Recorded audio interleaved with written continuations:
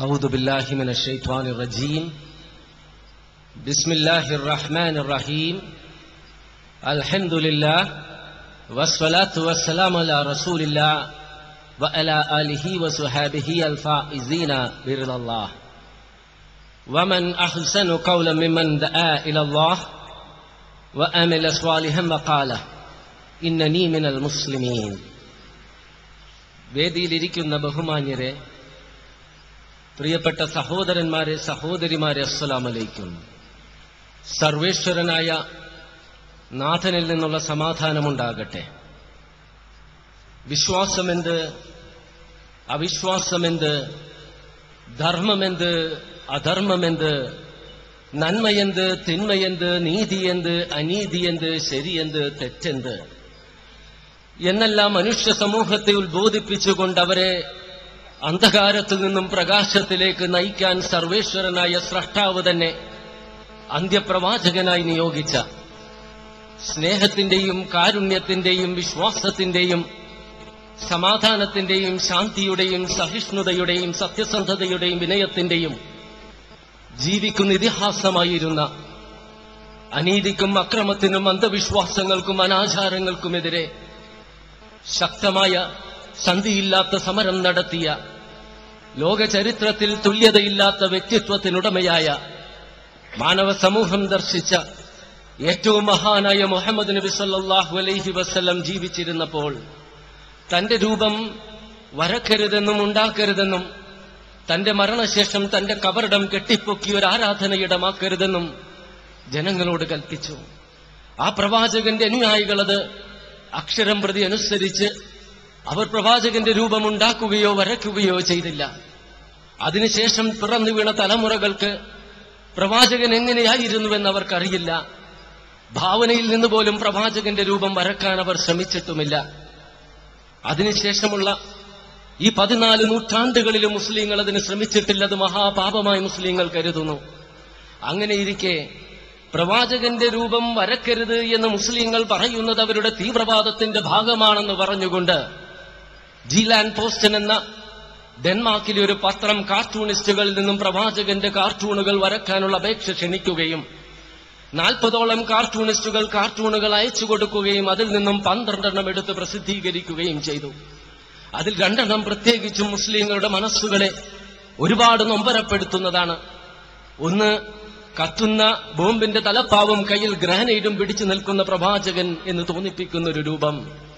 രണ്ട് ഒരു നിരപരാധിയെ ഒരാൾ വധിക്കാൻ വാളെടുത്ത് നിൽക്കുമ്പോൾ അത് ആ പ്രവാചകനെ പോലെയുള്ള ഒരു മനുഷ്യൻ പറയുകയാണ് വധിക്കരുത്. സ്വർഗത്തിൽ സ്വർഗ സ്ത്രീകളുടെ സ്റ്റോക്ക് തീർന്നിരിക്കുന്നു. സ്റ്റോക്ക് വന്നോട്ടെ എന്നിട്ട് വധ- വധിക്കാമെന്ന്. ആ മഹത്താ മഹത്തരമായ ജിഹാദ് മുസ്ലിങ്ങൾ ചെയ്യുന്നത് സ്വർഗ സ്ത്രീകളുമായി ലൈംഗിക ബന്ധത്തിൽ ഏർപ്പെടാനെന്ന തെറ്റിദ്ധാരണ തിരുത്തുന്ന കാർട്ടൂണുകൾ ഈ കാർട്ടൂണുകൾ മുസ്ലിം മനസ്സുകളിൽ അഗാധമായ നൊമ്പരങ്ങൾ ഉണ്ടാക്കുന്നുവെന്നും അവരുടെ മക മതവികാരങ്ങളെ വ്രണപ്പെടുത്തുന്നുവെന്നും അതുകൊണ്ട് ഇത് പ്രസിദ്ധീകരിച്ച പത്രത്തിനും അനുവാദം നൽകിയ പത്രാധിപർക്കും വരച്ച കാർട്ടൂണിസ്റ്റുകൾക്കുമെതിരെ നടപടിയെടുക്കണമെന്നും ഇനി ഇത് ആവർത്തിക്കാതിരിക്കാനുള്ള നടപടികൾ സ്വീകരിക്കണമെന്നും ഡെൻമാർക്കിലെ പ്രധാനമന്ത്രിയോട് അപേക്ഷിക്കാൻ അനുവാദം ചോദിച്ചവരോട് എന്തും പറയാനും പ്രവർത്തിക്കാനും ആരെയും അപമാനിക്കാനും അവഹേളിക്കാനുമുള്ള മഹത്തായ പൈതൃകത്തിന്റെ ആ പാരമ്പര്യം പിന്തുടരുന്ന മഹാരാജ്യമാണ് ഞങ്ങളുടേതെന്ന് പറഞ്ഞുകൊണ്ട് ഡെൻമാർക്കിലെ വലതുപക്ഷ പാർട്ടിയായ ഡെൻമാർക്ക് പീപ്പിൾസ് പാർട്ടിയുടെ പിന്തുണയോടെ ഭരിക്കുന്ന ആ പ്രധാനമന്ത്രി കാണാൻ പോലുമുള്ള അവസരം നിഷേധിക്കുകയാണ് ഉണ്ടായത് ഈ നീചമായ പ്രവൃത്തി ഇനിയും ആവർത്തിക്കില്ലെന്ന് കരുതി മുസ്ലിങ്ങൾ മൗനമായിരുന്നെങ്കിലും അവരുടെ എല്ലാ പ്രതീക്ഷകളെയും തെറ്റിച്ചുകൊണ്ട് വലിയ പെരുന്നാളിന്റെ അന്ന് എല്ലാവരും സന്തോഷിക്കേണ്ട മുസ്ലിങ്ങൾ സന്തോഷിക്കേണ്ട ദിനത്തിൽ തന്നെ വീണ്ടും പത്രം ഈ കാർട്ടൂണുകൾ വീണ്ടും പ്രസിദ്ധീകരിച്ചു. ഇതിനെ തുടർ തുടർന്ന് മറ്റു പല പത്രങ്ങളും അത് പ്രസിദ്ധീകരിക്കുകയും ഇറ്റലിയിലെ ഒരു മന്ത്രി തന്നെ കാർട്ടൂണുകൾ അടങ്ങിയ ടീഷർട്ട് ഇട്ട് ജനങ്ങളുടെ മുൻപിൽ വിലസി നടന്നു. ഇതെല്ലാം ആഗോള തലത്തിൽ തന്നെ മുസ്ലിങ്ങളുടെ പ്രതിഷേധം വിളിച്ചു വരുത്തി. നല്ലവരായ മുസ്ലിങ്ങളും പക്വതയുള്ള ലോക നേതാക്കളും ഇതിനെതിരെ പ്രതിഷേധിക്കുകയും അതോടൊപ്പം തന്നെ ഡാനിഷ് ഉൽപ്പന്നങ്ങൾ മുസ്ലിം രാജ്യങ്ങളും മുസ്ലിങ്ങളും ബഹിഷ്കരിക്കാൻ ആരംഭിച്ചപ്പോൾ ഗത്യന്തരമില്ലാതെ ഡാനിഷ് പ്രധാനമന്ത്രി ലോക മുസ്ലിങ്ങളോട് മാപ്പ് പറഞ്ഞെങ്കിലും ഇതിന് കാരണക്കാരായ അവരെ ശിക്ഷിക്കാൻ ഡാനിഷ് പീനൽ നിയമം section two twenty six B പ്രകാരം പ്രധാനമന്ത്രി തയ്യാറായില്ല. കാർട്ടൂണുകൾക്കെതിരെ ലോക മുസ്ലിങ്ങൾ വ്യത്യസ്ത രീതികളിലാണ് പ്രതികരിച്ചത്. ലോകത്ത് നൂറ്റി മുപ്പത് കോടിയിൽ പരം വരുന്ന മുസ്ലിങ്ങൾ മഹാഭൂരിപക്ഷവും മൗനം പാലിച്ചു. അവർ അവരുടെ നൊമ്പരങ്ങളും അമർഷങ്ങളും മനസ്സിൽ ഒതുക്കിപ്പിടിച്ചു കഴിഞ്ഞു. എന്നാൽ ന്യൂനപക്ഷമായ മുസ്ലിങ്ങൾ അതിനെതിരെ പ്രതികരിച്ചു. പലരും പ്രകടനങ്ങൾ നടത്തി. ചിലർ ഡെൻമാർക്കിന്റെയും നോർവേയുടെയും മറ്റു പല യൂറോപ്യൻ രാജ്യങ്ങളുടെയും അമേരിക്കയുടെയും പതാകകൾ കത്തിച്ചു. സിറിയയിലെയും ലബനാനിലെയും ചില ആളുകൾ ഡെൻമാർക്കിന്റെയും നോർവേയുടെയും എംബസികൾ അഗ്നിക്കിരയാക്കി. നൈജീരിയയിലെ ചില ആളുകൾ നിരപരാധികളായ പത്ത് പന്ത്രണ്ട് ക്രിസ്ത്യാനികളെ വധിക്കുകയും ഒന്ന് രണ്ട് ക്രൈസ്തവ ദേവാലയങ്ങൾ അഗ്നിക്കിരയാക്കുകയും ചെയ്തു. യാക്കൂബ് ഖുറൈഷി എന്ന് പറയപ്പെടുന്ന പറയുന്ന യു പിയിലെ ഒരു മുസ്ലിം മന്ത്രി പറഞ്ഞു കാർട്ടൂൺ വരച്ചയാളുടെ തല അരിഞ്ഞ് തളികയിൽ വെച്ച് എന്റെ മുൻപിൽ കൊണ്ടുവന്നു വെച്ചാൽ അമ്പത്തിയൊന്ന് കോടി രൂപ സമ്മാനമായി നൽകാമെന്ന് മറ്റു പലരും ഇത്തരത്തിൽ പ്രതികരിച്ചു. മുസ്ലിങ്ങളായ നമ്മെ സംബന്ധിച്ചിടത്തോളം ഈ പ്രതികരണങ്ങൾ ശരിയാണോ? ഏത് രീതിയിലാണ് പ്രതികരിക്കേണ്ടതെന്ന് വിലയിരുത്തേണ്ടിയിരിക്കുന്നു? പ്രവാചകൻ അപമാനിക്കുകയും അവഹേളിക്കുകയും ചെയ്താൽ മുസ്ലിങ്ങൾ പ്രതികരിക്കണം കാരണം വിശുദ്ധ ഖുർആനിലെ ഒമ്പതാം അധ്യായത്തിൽ ഇരുപത്തിനാലാം വചനത്തിൽ അള്ളാഹു പറയുന്നുണ്ട് قل إن كان آباؤكم وأبناؤكم وإخوانكم وأزواجكم وأشيرتكم وأموال اقترفتموها وأموال اقترفتموها وتجارة تخشون كسادها ومساكن ترضونها أحب إليكم من الله ورسوله وجهاد في سبيله ഫതറബ്സു ഹത്താ അല്ലാഹു ബിഅംരി വല്ലാഹു ലാ യഹ്ദിൽ ഖൗമൽ ഫാസിഖീൻ നിങ്ങളുടെ പിതാക്കന്മാരെയും പുത്രന്മാരെയും സഹോദരങ്ങളെയും ഇണകളെയും ബന്ധുക്കളെയും നഷ്ടം ഭയപ്പെടുന്ന കച്ചവടത്തെയും സമ്പത്തിനെയും മണിമന്ദിരങ്ങളെക്കാളും പ്രിയപ്പെട്ടത് നിങ്ങളുടെ നിങ്ങൾ പ്രിയപ്പെട്ടത് അള്ളാഹുവും അവന്റെ ദൂതനും അവന്റെ മാർഗത്തിലെ സമരവുമാകുന്നതുവരെ നിങ്ങൾ കാത്തിരിക്കുവിൻ അള്ളാഹുവിന്റെ തീരുമാനം വരുന്നതുവരെ അള്ളാഹുവിന്റെ കടുത്ത തീരുമാനം അതായത് ശിക്ഷ വരുന്നതുവരെ എന്ന്. അതുകൊണ്ടൊരു മുസ്ലിമിനെ സംബന്ധിച്ചിടത്തോളം അവന്റെ ജീവനേക്കാൾ ഉപരി അവൻ പ്രവാചകനെ സ്നേഹിക്കേണ്ടിയിരിക്കുന്നു. ഈ കാർട്ടൂൺ വരച്ച ആളുകളുടെ മാതാപിതാക്കളെ ആരെങ്കിലും അപമാനിച്ചാൽ അവർ പ്രതികരിക്കില്ലേ? അതുകൊണ്ട് മുസ്ലിങ്ങൾ പ്രതികരിച്ചതിന് നമുക്ക് കുറ്റം പറയാൻ സാധിക്കുകയില്ല. എന്നാൽ ഒരു മുസ്ലിമിനെ സംബന്ധിച്ചിടത്തോളം എന്തു പറയണം എന്തു പറയരുത് എന്തു പ്രവർത്തിക്കണം എന്തു പ്രവർത്തിക്കരുത് എന്ന് ഖുർആാനും പ്രവാചകനും പഠിപ്പിച്ചു തന്നിട്ടുണ്ട്. ഉദൈഫയിൽ വെച്ച് പ്രവാചകൻ അരുളിയില്ലേ? ഞങ്ങളോട് നന്മ ചെയ്താൽ ഞങ്ങളും നന്മ ചെയ്യും. ഞങ്ങളോട് മോശമായി പെരുമാറിയാൽ ഞങ്ങളും മോശമായി പെരുമാറും. എന്ന് പറയുന്ന ജനവിഭാഗത്തിൽ നിങ്ങൾ ഉൾപ്പെടരുത്. ഞങ്ങളോട് നന്മ ചെയ്താൽ ഞങ്ങളും നന്മ ചെയ്യും. ഞങ്ങളോട് മോശമായി പെരുമാറിയാൽ ഞങ്ങൾ അക്രമം കാണിക്കില്ല എന്ന് പറയുന്ന ജനവിഭാഗത്തിലാണ് നിങ്ങൾ ഉൾപ്പെടേണ്ടതെന്ന്. വിശുദ്ധ ഖുർആാനിലെ നാൽപ്പത്തിയൊന്നാം അധ്യായത്തിലെ മുപ്പത്തിനാലാം വചനത്തിൽ അള്ളാഹു പറയുന്നില്ലേ? ഇത്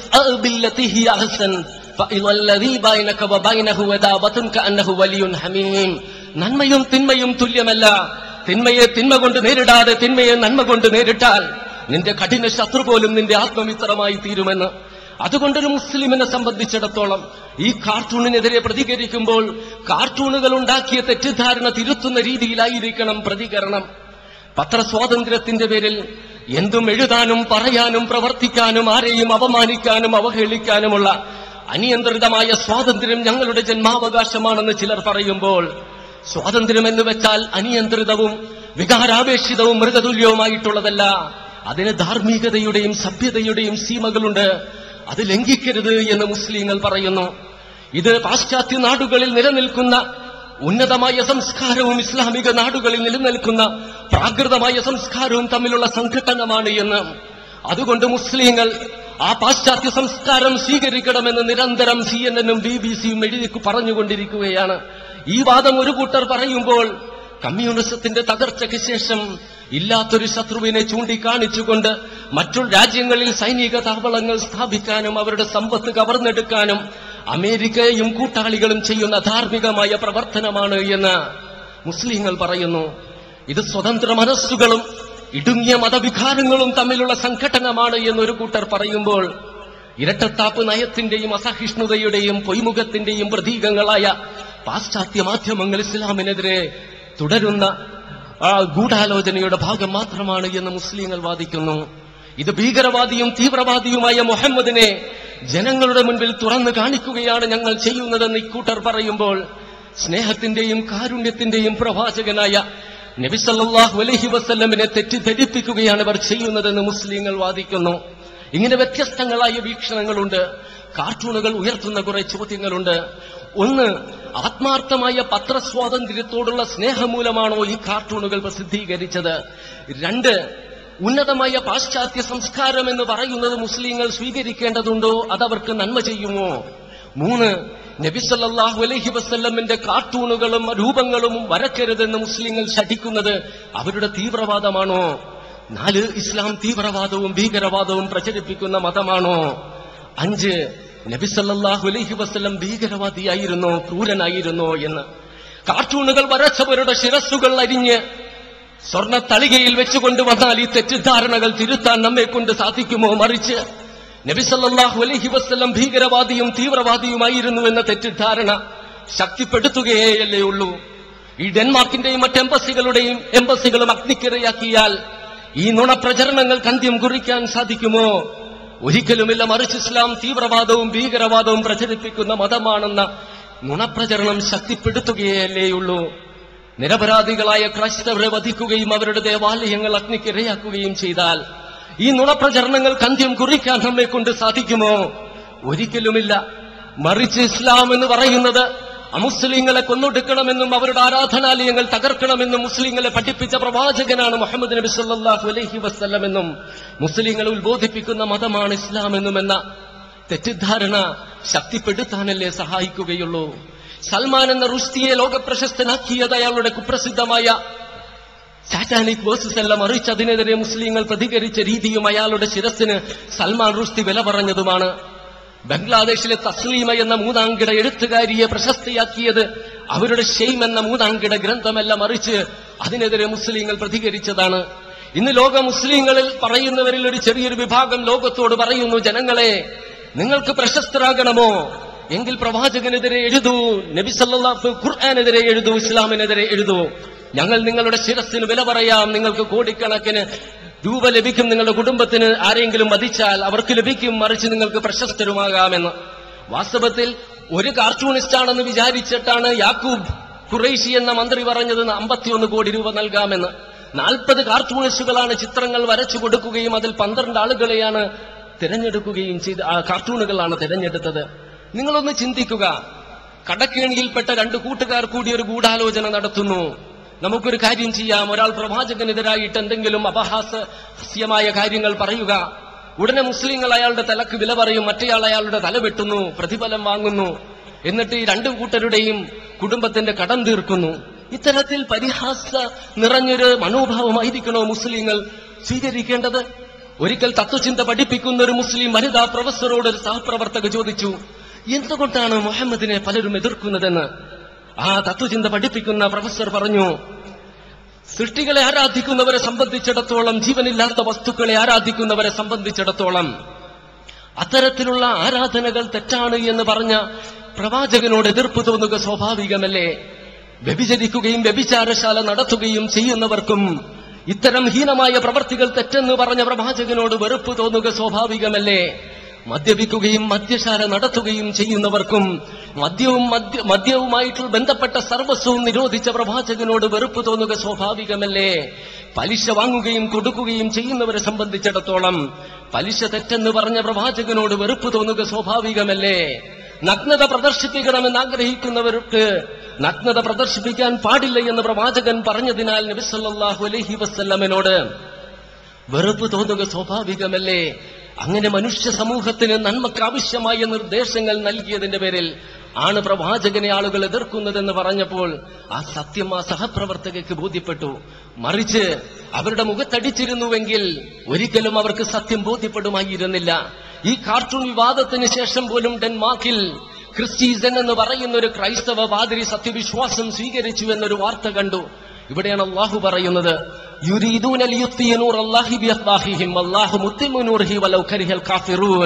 അള്ളാഹുവിന്റെ പ്രകാശത്തെ അണക്കാൻ കെടുത്താൻ ബഹുദൈവ വിശ്വാസികൾ അവരുടെ വായകൾ കൊണ്ട് ശ്രമിക്കുന്നു. അവർ എത്ര ശ്രമിച്ചാലും അള്ളാഹു തന്റെ പ്രകാശത്തെ പൂർത്തീകരിക്കുക തന്നെ ചെയ്യും. നാം പരലോകത്തിൽ വിശ്വസിക്കുന്നവരല്ലേ? അള്ളാഹു ഈ കാർട്ടൂണിസ്റ്റുകളെ ഇഹലോകത്ത് ശിക്ഷിക്കാം ഇല്ലെങ്കിൽ തീർച്ചയായും പരലോകത്ത് അള്ളാഹു ശിക്ഷിക്കുമെന്ന ആ വിശ്വാസം നമുക്കുണ്ടാകേണ്ടതല്ലേ? ലോകത്തിലെ പ്രഥമ മതത്തിന്റെ സ്ഥാനത്തിലേക്ക് കുതിച്ചുകൊണ്ടിരിക്കുന്ന ഇസ്ലാമിനെ തകർക്കാനുള്ള ഗൂഢാലോചനയുടെ ഭാഗം മാത്രമാണ് ഇത്തരത്തിലുള്ള കുപ്രചരണങ്ങളെന്ന് മനസ്സിലാക്കുക. അല്ലാതെ ആത്മാർത്ഥമായ പത്രസ്വാതന്ത്ര്യത്തോടുള്ള സ്നേഹമല്ല.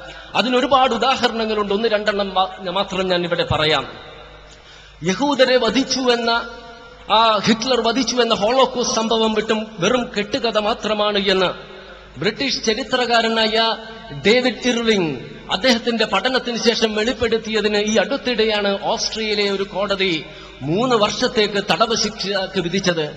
അതേസമയം മുസ്ലിങ്ങൾ അപമാനിക്കുകയും അവഹേളിക്കുകയും ചെയ്ത ബ്രിട്ടനിലെ വലതുപക്ഷ തീവ്രവാദ പാർട്ടിയായ ബ്രിട്ടീഷ് നാഷണൽ പാർട്ടിയുടെ നേതാവായ നിഗ്രിസ്നിയെ കോടതി വെറുതെ വിടുകയാണ് ഉണ്ടായത്.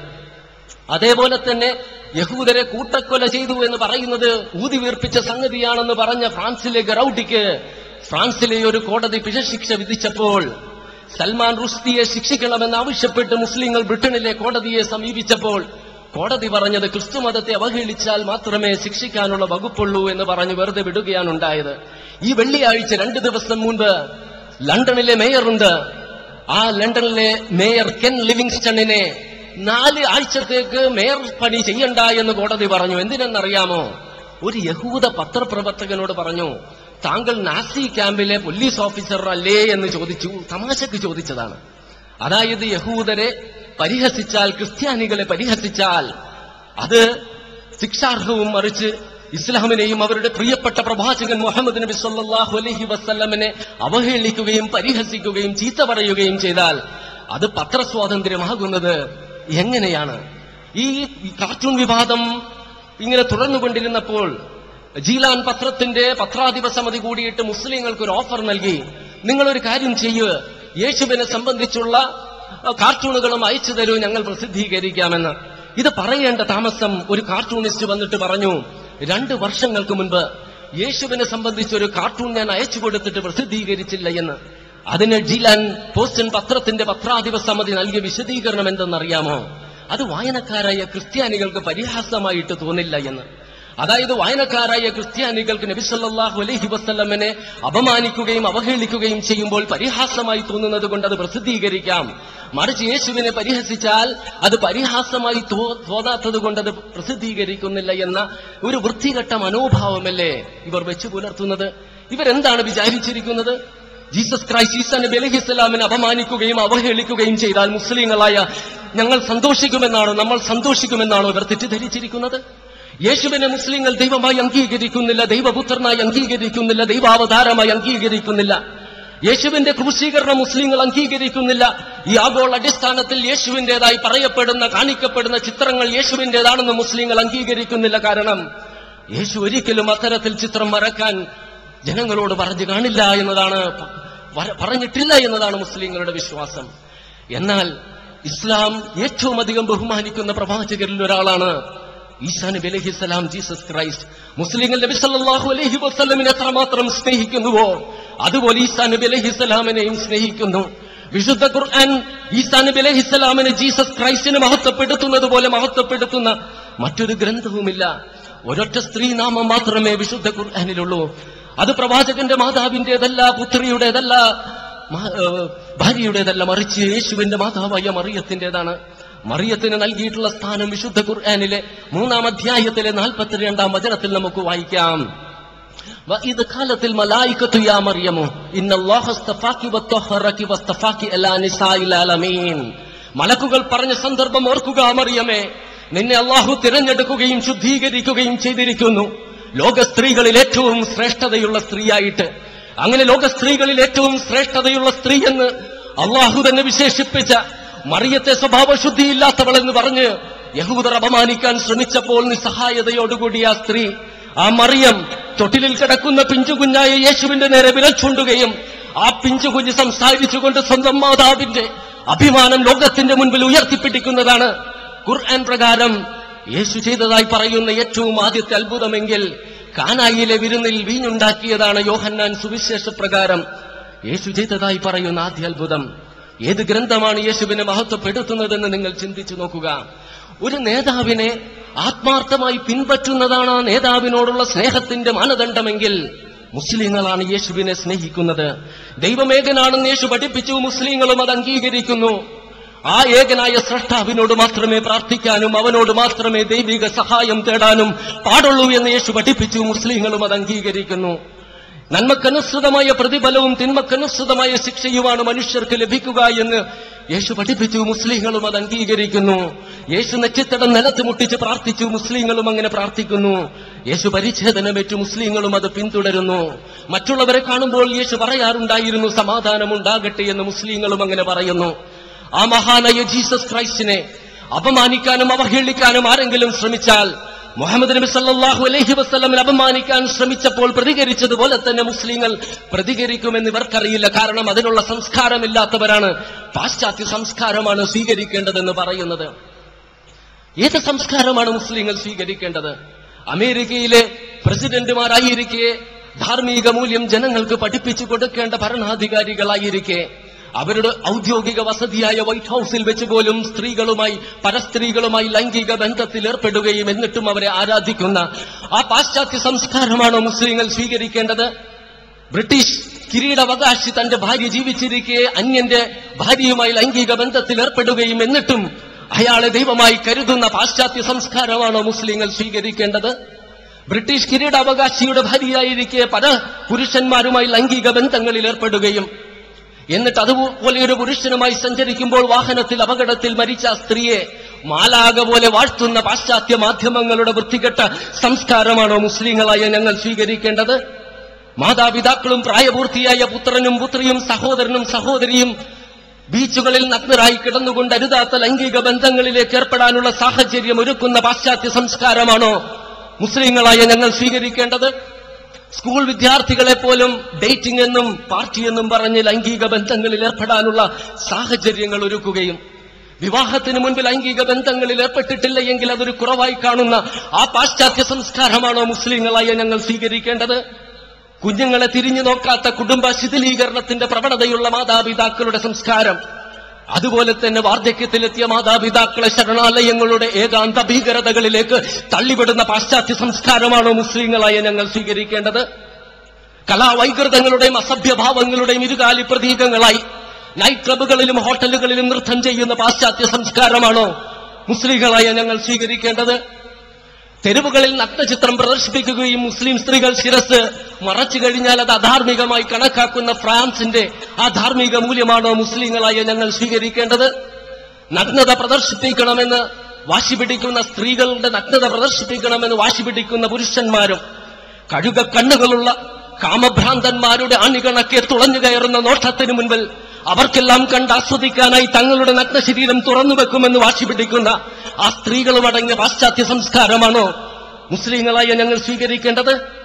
പുരോഹിതർക്ക് പോലും സ്വവർഗ ലൈംഗിക ബന്ധങ്ങളിൽ ഏർപ്പെടാനും പുരുഷന് പുരുഷന് വിവാഹം കഴിക്കാനും സ്ത്രീക്ക് സ്ത്രീയെ വിവാഹം കഴിക്കാനുമുള്ള സ്വാതന്ത്ര്യമുള്ള പാശ്ചാത്യ സംസ്കാരമാണോ? മുസ്ലിങ്ങളായ ഞങ്ങൾ സ്വീകരിക്കേണ്ടത്? മുലപ്പാൽ ജന്മം നൽകിയ കുഞ്ഞിന് മുലപ്പാൽ പോലും നൽകാൻ അനുവദിക്കാതെ കഴുത്തും കൈകാലുകളും ചങ്ങലകളിൽ ബന്ധിച്ച് ആഫ്രിക്കൻ വനാന്തരങ്ങളിൽ നിന്നും കന്നുകാലികളെ പോലെ അട്ടിത്തെളിയിച്ച് സാഗരങ്ങൾ കടത്താനായി പായ്ക്കപ്പലുകളുടെ അടിത്തട്ടിൽ തള്ളിയിട്ട് അക്കരയെത്താൻ കാത്തിരിക്കാനുള്ള ക്ഷമ പോലുമില്ലാതെ ക്രൂരമായ കാമഭ്രാന്ത് നിരയാക്കുകയും പിന്നീട് രോഗം ബാധിച്ച പൂർണ ഗർഭിണികളെ പോലും സാഗരത്തിലെ സ്രാവുകൾക്ക് കൊത്തിപ്പെറുക്കാൻ ഇട്ടുകൊടുത്ത വെളുത്തടിമ മുതലാളിമാരുടെ സംസ്കാരമാണോ മുസ്ലിങ്ങളായ ഞങ്ങൾ സ്വീകരിക്കേണ്ടത്? സമ്പത്തിനു വേണ്ടി ലക്ഷക്കണക്കിന് ആളുകൾ അടിമകളാക്കിയ സംസ്കാരം. സമ്പത്തിനു വേണ്ടി രാജ്യങ്ങൾ പിടിച്ചടക്കുകയും കോളനികൾ സ്ഥാപിക്കുകയും ചെയ്ത സംസ്കാരം. ഹിറ്റ്ലറിനെയും മുസോളിനെയും ലോസബിച്ചിനെയും സൃഷ്ടിച്ച സംസ്കാരം. ആണവ ബോംബുകൾ ഉണ്ടാക്കിയ സംസ്കാരം. ആയുധങ്ങൾ ഉണ്ടാക്കിയിട്ട് രാജ്യങ്ങൾക്ക് വിൽക്കുകയും അവരെ തമ്മിൽ അടുപ്പിക്കുകയും ചെയ്യുന്ന സംസ്കാരം. ഈ സംസ്കാരം നിങ്ങളുടെ കൺമുൻപിൽ ഉന്നതമായിരിക്കാം. എന്നാൽ ഞങ്ങളുടെ കൺമുൻപിൽ അത് ഉന്നതമല്ല. ഞങ്ങൾക്ക് ഞങ്ങളുടെ സ്രഷ്ടാവ് തന്നൊരു സംസ്കാരമുണ്ട്. ഏകനായ നാഥനെ അംഗീകരിച്ചുകൊണ്ട് അവന്റെ കൽപ്പനകൾക്ക് അനുസൃതമായി ജീവിക്കാനുള്ള സംസ്കാരം. നിരപരാധികളെ വധിക്കാതിരിക്കാനുള്ള കൊലപാതകം നടത്താതിരിക്കാനുള്ള വ്യഭിചരിക്കാതിരിക്കാനുള്ള സ്വർഗരതിയിൽ ഏർപ്പെടാതിരിക്കാനുള്ള സ്ത്രീകളെ സംബന്ധിച്ച് പരദൂഷണം പറയാതിരിക്കാനുള്ള കൃത്രിമക്ഷാമം ഉണ്ടാക്കാതിരിക്കാനുള്ള നിർദ്ദേശങ്ങൾ അടങ്ങിയൊരു സംസ്കാരമുണ്ട്. മാതാപിതാക്കളോട് കാരുണ്യത്തോടെ പെരുമാറണമെന്ന് പഠിപ്പിക്കുന്ന സംസ്കാരം. സന്താനങ്ങളോടുള്ള ബാധ്യത നിർവഹിക്കണമെന്ന് പറയുന്ന സംസ്കാരം. ആ സംസ്കാരം ആ സംസ്കാരം അത് ഞങ്ങൾക്ക്. നിങ്ങളുടെ കണ്ണിലത് പ്രാകൃതമായിരിക്കാം. ഞങ്ങളുടെ നാഥന്റെ കണ്ണിൽ അതേറ്റവും ഉന്നതമാണ്. ആ ഉജ്ജ്വലമായ മതത്തിന്റെ പ്രവാചകനാണ് മുഹമ്മദ് നബി സല്ലാഹു അലൈഹി വസ്ല്ലം. ആ പ്രവാചകന്റെ രൂപമുണ്ടാക്കരുതെന്ന് പറഞ്ഞത് എങ്ങനെയാണ് ഭീകരവാദവും തീവ്രവാദവുമാകുന്നത്? വമാ സമസ്ത ലോകങ്ങളിലേക്കായിട്ടല്ലാതെ താങ്കളെ നാം നിയോഗിച്ചിട്ടില്ലെന്നും സമസ്ത ലോകങ്ങളിലേക്കും ഒരു കാരുണ്യമായിട്ടല്ലാതെ താങ്കളെ നാം നിയോഗിച്ചിട്ടില്ല എന്നും അള്ളാഹു തന്നെ വിശേഷിപ്പിച്ച മുഹമ്മദ് നബി സല്ലാഹു അലൈഹി വസ്ല്ലം. മുഹമ്മദ് എന്ന മഹനീയ നാമം ജനകോടികൾ അത്യധികം ബഹുമാനത്തോടെയും സ്നേഹത്തോടെയും നൂറ്റാണ്ടുകളായി ഉച്ചരിക്കുന്നു. ആ നാമം കേൾക്കുമ്പോൾ തന്നെ വിശ്വാസികളുടെ ഹൃദയങ്ങൾ വിവരണാതീതങ്ങളായ വികാരങ്ങൾ കൊണ്ട് ത്രസിക്കുകയാണ്. മുഹമ്മദ് അള്ളാഹുവിന്റെ ദൂതനാണെന്ന സത്യം ലോകത്തിന്റെ വിവിധ ഭാഗങ്ങളിൽ സ്ഥിതി ചെയ്യുന്ന ലക്ഷക്കണക്കിന് പള്ളി മിനാരങ്ങളിൽ നിന്നും കോടാനുകോടി സത്യവിശ്വാസികളെ നമസ്കാരത്തിലേക്ക് ക്ഷണിച്ചുകൊണ്ടുള്ള പാങ്കുവിളികളിലൂടെ നിരന്തരം ലോകത്ത് വിളംബരം ചെയ്യപ്പെട്ടുകൊണ്ടിരിക്കുന്നു. കോടാനുകോടി ജനവിഭാഗം ആ മുദ്രാവാക്യം ഏറ്റുപറയുക മാത്രമല്ല അവരുടെ ദിനേനയുള്ള പ്രാർത്ഥനകളിൽ അള്ളാഹുവിൽ നിന്നുള്ള സമാധാനം ആ പ്രവാചകന്റെ മേൽ അനുഗ്രഹമുണ്ടാകട്ടെ എന്ന് ഹൃദയത്തിൽ തട്ടി പ്രാർത്ഥിക്കുന്നു. ലോക ചരിത്രത്തിൽ മറ്റൊരു വ്യക്തിക്കും സ്വപ്നത്തിൽ പോലും സങ്കല്പിക്കാൻ സാധിക്കാത്ത ഈ അത്ഭുത പ്രതിഭാസം പതിനാല് നൂറ്റാണ്ടുകളായി അനുസ്യൂതം തുടർന്നുകൊണ്ടിരിക്കുകയാണ്.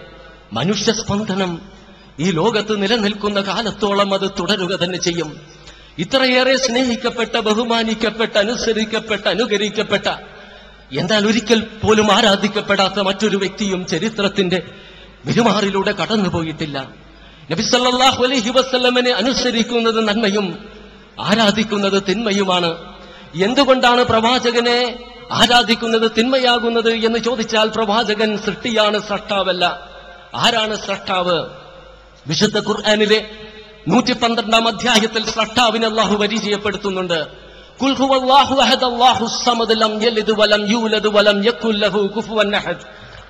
എന്തുഗ്രമായ തത്വമാണിത്? സൂര്യനുണ്ടെങ്കിൽ അനേകം നക്ഷത്രങ്ങളില്ലേ ഭൂമിയുണ്ടെങ്കിൽ അനേകം ഗ്രഹങ്ങളില്ലേ ജീവജാലങ്ങളും അനേകമല്ലേ? ഏകനായിട്ടുള്ളത് ഏകനായ നാഥൻ മാത്രം. രണ്ട് ദൈവം ഒന്നിനെയും ആശ്രയിക്കുന്നില്ല. ശ്രീരാമനും ശ്രീകൃഷ്ണനും ബുദ്ധനും മുഹമ്മദ് നബി സല്ലാഹു അലൈഹി വസ്ലമും ജീസസ് ക്രൈസ്റ്റ് നബി അലൈഹി ജീവിച്ചിരുന്നപ്പോൾ ഭക്ഷണം കഴിച്ചിരുന്നു വായു ശ്വസിച്ചിരുന്നു മറ്റു പലതിനെയും ആശ്രയിച്ചിരുന്നു. അതുകൊണ്ട് അവരാരും ദൈവമല്ല. മൂന്ന് ദൈവം ജനിച്ചിട്ടില്ല ജനിപ്പിച്ചിട്ടില്ല. ആദ നബി അലഹിസ്സലാമ് ജനിച്ച വ്യക്തിയല്ലായിരുന്നുവെങ്കിലും സന്താനങ്ങൾ ഉണ്ടായിരുന്നു ഈസാ നബി അലഹിസ്സലാമിന് സന്താനങ്ങളില്ല എന്ന് പറയുന്നു എന്നാൽ ഒരു മാതാവിന്റെ ഉദരത്തിലാണ് പറഞ്ഞത് അതുകൊണ്ട് ഇവർ രണ്ടുപേരും ദൈവമല്ല. മുഹമ്മദ് നബി സല്ലാഹു അലഹി വസ്ലം ശ്രീരാമൻ ശ്രീകൃഷ്ണൻ എന്നിവരെല്ലാം ജനിച്ചവരുമായിരുന്നു അവരും അവർക്ക് സന്താനങ്ങളും ഉണ്ടായിരുന്നു അവസാനത്തേതാണ് ഏറ്റവും പ്രധാനപ്പെട്ടത്. ദൈവത്തെ പോലെ യാതൊന്നുമില്ല. രൂപങ്ങൾക്കും ഭാവങ്ങൾക്കും പരിണാമങ്ങൾക്കും അതീതമായ പ്രപഞ്ചത്തെയും പ്രകൃതി പ്രതിഭാസങ്ങളെയും മനുഷ്യരെയും ജീവജാലങ്ങളെയും സസ്യലതാദികളെയും സൃഷ്ടിച്ച ഏകനായ സൃഷ്ടാവിനെ മാത്രമേ ആരാധിക്കാനും അവനോട് മാത്രമേ പ്രാർത്ഥിക്കാനും അവന്റെ മുൻപിൽ മാത്രമേ ശിരസ് കുമ്പിടാനും പാടുള്ളൂ എന്നതാണ് ഇസ്ലാമിക തത്വത്തിന്റെ ദൈവവിശ്വാസത്തിന്റെ അടിത്തറ. അതിൽ വ്യതിചലനം വരുത്താതിരിക്കാനാണ് നബിസല്ലാഹു അലഹി വസ്ലം പറഞ്ഞത്. എന്റെ രൂപം ഉണ്ടാക്കരുതെന്നും എന്റെ രൂപം വരക്കരുതെന്നും. നബിസല്ലാഹു അലഹി വസ്ല്ലം എങ്ങനെയാണ് വികലമായ വിശ്വാസം സമൂഹത്തിലേക്ക് വന്നതെന്ന് ഒരു ചരിത്ര സംഭവത്തിലൂടെ വിവരിക്കുന്നുണ്ട്. പ്രമാണിമാരായ കുറെ ആളുകളുടെ ബിംബങ്ങൾ ഉണ്ടാക്കി അവരെ ബഹുമാനിക്കാനായിട്ട് അടുത്ത തലമുറ വന്നപ്പോൾ അവരെ ആരാധിക്കാൻ ആരംഭിച്ചു. ഇങ്ങനെ തന്നെ ആരാധിക്കാനുള്ള സാഹചര്യം ഉണ്ടാകരുതെന്ന് കരുതിയാണ് നബി അലഹി വസല്ലം ഇത് പഠിപ്പിച്ചത് ഇതെങ്ങനെയാണ് തീവ്രവാദമാകുന്നത്? കെട്ടിടം നിർമ്മിച്ച കെട്ടിടത്തിന്റെ നിർമ്മാതാവിന് കെട്ടിടത്തിന്റെ പ്രശ്നം പഠിക്കാനായി കെട്ടിടമായി ജനിക്കേണ്ടതില്ലെന്നും കാർ നിർമ്മിച്ച കാറിന്റെ നിർമ്മാതാവിന് കാറിന്റെ പ്രശ്നം പഠിക്കാനായിട്ട് കാറായി ജനിക്കേണ്ടതില്ലെന്നും അതുപോലെ മനുഷ്യനെ സൃഷ്ടിച്ച സൃഷ്ടാവിന് മനുഷ്യന്റെ പ്രശ്നം പഠിക്കാനായിട്ട് മനുഷ്യനായി ജനിക്കേണ്ടതില്ല എന്നും മനസ്സിലാക്കാൻ സാധിച്ചാൽ ഒരിക്കലും ദൈവാവതാര സങ്കല്പങ്ങളോ ദൈവപുത്ര വിശ്വാസങ്ങളിലേക്കോ മനുഷ്യൻ വ്യതിചലിച്ചു പോകില്ല. ഇത് മനസ്സിലാക്കുന്ന ആരും പ്രവാചകന്റെ രൂപം ഉണ്ടാക്കരുതെന്ന് പറഞ്ഞത് ഭീകരവാദമാണെന്ന് പറയുകയില്ല. ജീവനില്ലാത്ത വസ്തുവിന്റെ മുൻപിൽ ഭക്ഷണ പദാർത്ഥങ്ങൾ ഭക്തന്മാർ വെക്കുന്നു. ആ ഭക്ഷണ പദാർത്ഥങ്ങളിൽ വന്നിരിക്കുന്ന ഈ ചെയ്യാട്ടിയോടിക്കാൻ സാധിക്കാത്ത ജീവനില്ലാത്ത വസ്തുക്കളെ ആരാധിക്കുന്നതാണോ യുക്തി. മറിച്ച് ആ ഈച്ചയുടെ സൃഷ്ടാവിനെ ആരാധിക്കുന്നതാണോ യുക്തി എന്ന അള്ളാഹുവിന്റെ ചോദ്യമുണ്ടല്ലോ. അത് മനസ്സിലാക്കുന്ന ആളുകൾക്ക് നിർജീവരായ വസ്തുക്കളെ ആരാധിക്കാൻ സാധിക്കില്ല. പ്രവാചകന്റെ രൂപം ഉണ്ടാക്കരുതെന്നും വരക്കരുതെന്നും പറഞ്ഞത് തീവ്രവാദമായിട്ട് അവർക്ക് തോന്നുകയുമില്ല. അകാരണമായി ഒരു പട്ടി കുരയ്ക്കുന്നത് പോലും തങ്ങളുടെ മാനുഷികതയുടെ കണക്കിൽ വരവ് വെക്കാൻ വ്യഗ്രതപ്പെടുന്ന മനുഷ്യ ദൈവങ്ങളുടെയും കുട്ടി ദൈവങ്ങളുടെയും ഈ കാലഘട്ടത്തിൽ പ്രവാചകൻ വേറിട്ട് നിൽക്കുന്നു. ഞാൻ ഒരിക്കലെങ്കിലും ദൈവമാണെന്നോ ദൈവപുത്രനാണെന്നോ ദൈവാവതാരമാണെന്നോ എന്നെ നിങ്ങൾ ആരാ എന്നോട് ആരാധിക്കണമെന്നോ എന്നെ ആരാധിക്കണമെന്നോ എന്നോട് പ്രാർത്ഥിക്കണമെന്നോ എന്നോട് ദൈവിക സഹായം തേടണമെന്നോ പ്രവാചകൻ പറഞ്ഞില്ല. മറിച്ച് പറഞ്ഞു ഞാൻ ആദ്യവും അവസാനവും ദൈവത്തിന്റെ ദാസനും പിന്നെ പ്രവാചകനുമാണ്. എനിക്ക് വേണ്ടി പ്രാർത്ഥിക്കുക എന്റെ കുടുംബത്തിന് വേണ്ടി പ്രാർത്ഥിക്കുക എന്ന്. മരണശൈലിയിൽ കിടക്കുമ്പോഴും പൊട്ടിക്കരഞ്ഞുകൊണ്ട് പ്രവാചകൻ പറഞ്ഞില്ലേ അള്ളാഹുമല്ലാത്ത അള്ളാഹുവേ എന്റെ കബറിടം ഒരു ആരാധനയിടമാക്കരുതേ എന്ന്. പ്രവാചകൻ ഒരുപാട് ആഗ്രഹിച്ച് ലഭിച്ച പൊന്നുമകൻ ഇബ്രാഹിം. ആ ഇബ്രാഹിമിനെ പ്രവാചകൻ എടുത്തുകൊണ്ട് നടക്കുമായിരുന്നു. ഒരു ആ കുഞ്ഞു കണ്ണുകളിൽ ഒരു കണ്ണുനീർ പൊടിഞ്ഞാൽ പ്രവാചകന്റെ ഹൃദയത്തിൽ കാർമേഘങ്ങൾ ഉരുണ്ടുകൂടുമായിരുന്നു. ആ ചുണ്ടിൽ ഒരു പുഞ്ചിരി വിടർന്നാൽ പ്രവാചകന്റെ മനസ്സിൽ ആയിരം വർണങ്ങൾ വിടരുമായിരുന്നു. അങ്ങനെ ഇരിക്കെ ഇബ്രാഹിം മരിക്കുകയാണ്. ആ പിഞ്ചു മൃതശരീരം കൈകളിൽ എടുത്തുകൊണ്ട് പ്രവാചകൻ തേങ്ങി ഇബ്രാഹിമേ നിന്റെ മരണത്തിൽ ഞാൻ അതീവ ദുഃഖിതനാണ്. എന്റെ കരൾ തേങ്ങുകയാണ് കണ്ണുകൾ നിറയുകയാണ്. എങ്കിലും എന്റെ നാഥൻ ഇഷ്ടപ്പെടാത്തൊരു വാക്കുപോലും എന്റെ ചുണ്ടിൽ നിന്നും പുറത്തു വരികയില്ല. അപ്പോഴാണ് ഒരു വാർത്ത വരുന്നത്. യാദർശികമായ അവിടെ ഒരു ഗ്രഹണം സംഭവിച്ചു. പലരും പറയുന്നു മുഹമ്മദ് ദൈവമാണ് ദൈവപുത്രനാണ് ദൈവാവതാരമാണ് മുഹമ്മദിന് മാനുഷിക സിദ്ധികളുണ്ട് എന്ന്. ഇതാ ഒരു സുവർണാവസരം. പ്രവാചകന് പറയാമായിരുന്നില്ല അതെ ഞാൻ ദൈവമാണ് ദൈവപുത്രനാണ് ദൈവാവതാരമാണ് എനിക്ക് മാനുഷിക സ്ഥിതികളുണ്ട് എന്നോട് നിങ്ങൾ പ്രാർത്ഥിക്കണം എന്നോട് ദൈവിക സഹായം തേടണം എന്ന് പറയാമായിരുന്നില്ലേ? പുത്ര ദുഃഖം കൊണ്ട് ഹൃദയം നീറി നിൽക്കുമ്പോഴും നബിസല്ലാഹു അലൈഹി വസല്ലം ജനങ്ങൾക്കിടയിൽ ഇറങ്ങിച്ചെന്നവരെ ബോധവൽക്കരിച്ചു. സൂര്യനും ചന്ദ്രനുമെല്ലാം അള്ളാഹുവിന്റെ ദൃഷ്ടാന്തകൾ മാത്രമാണെന്നും ആരുടെയോ ജനനമോ മരണമോ ആയി ബന്ധപ്പെട്ട് അതിന് ഗ്രഹണം ബാധിക്കില്ല എന്ന് ബോധ്യപ്പെടുത്തി കൊടുത്തു ഈ വസ്തുത അറിയാവുന്ന ഒരു മനുഷ്യനും പറയുകയില്ല തന്റെ രൂപം വരക്കരുതെന്ന് പ്രവാചകൻ പറഞ്ഞത് തീവ്രവാദത്തിന്റെയും ഭീകരവാദത്തിന്റെയും ഭാഗമാണ് എന്ന് അല്ലെങ്കിൽ വാദമാണ് എന്ന് മറ്റൊരു പ്രധാന പ്രശ്നം ഇസ്ലാം തീവ്രവാദവും ഭീകരവാദവും പ്രചരിപ്പിക്കുന്ന മതമാണോ എന്നതാണ് وأنه من قتل نفسا بغير نفس أو فساد في الأرض فكأنما قتل الناس جميعا ومن أحياها فكأنما أحيا الناس جميعا ഭൂമിയിൽ അതിക്രമം പ്രവർത്തിച്ചതിന്റെ പേരിലോ ഒരു നിരപരാധിയെ വധിച്ചതിന്റെ പേരിലോ ഒരാളെ വധിക്കുന്നുവെങ്കിൽ അത് മൊത്തം മനുഷ്യ സമൂഹത്തെ വധിക്കുന്നതിന് തുല്യമാണെന്നും ഒരു നിരപരാധിയെ രക്ഷിക്കുന്നത് മൊത്തം മനുഷ്യ സമൂഹത്തെ രക്ഷിക്കുന്നതിന് തുല്യമാണെന്നും അഞ്ചാം അധ്യായത്തിലെ മുപ്പത്തിരണ്ടാം വചനത്തിലൂടെ ഉണർത്തുന്ന ഈ വേദഗ്രന്ഥത്തിന്റെ അനുയായികൾക്ക് ഒരിക്കലും നിരപരാധികളെ വധിക്കാൻ സാധിക്കുകയില്ല. ഒരു ജനതയോടുള്ള വെറുപ്പ് അവരോട് അതിക്രമം കാണിക്കാൻ നിങ്ങളെ പ്രേരിപ്പിക്കരുതെന്ന് അഞ്ചാം അധ്യായത്തിലെ എട്ടാം വചനത്തിലൂടെ ഉണർത്തുന്ന ഈ വേദഗ്രന്ഥത്തിന്റെ അനുയായികൾക്ക് ഒരിക്കലും മറ്റുള്ളവരോട് അതിക്രമം കാണിക്കാൻ സാധിക്കുകയില്ല. മതത്തിൽ ബലാത്കാരമില്ല ശരിയും തെറ്റും വേർതിരിഞ്ഞു നിൽക്കുന്നു എന്ന് രണ്ടാം അധ്യായത്തിൽ ഇരുന്നൂറ്റി അമ്പത്തിയാറാം വചനത്തിലൂടെ. ഉണർത്തുന്ന ഈ വേദഗ്രന്ഥത്തിന്റെ അനുയായികൾക്ക് ഒരിക്കലും നിർബന്ധിച്ച് മറ്റുള്ളവരെ മതവിശ്വാസത്തിലേക്ക് കൊണ്ടുവരാൻ സാധിക്കുകയില്ല. കഫൂറ. രണ്ട് പാതകളുണ്ട്.